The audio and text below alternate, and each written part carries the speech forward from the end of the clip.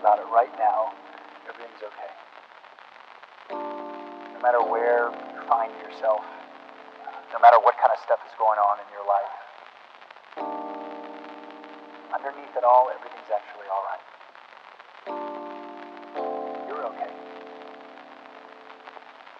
You have more power than you might be giving yourself credit for. And if you have something that's going on in your life right now that's challenging, painful,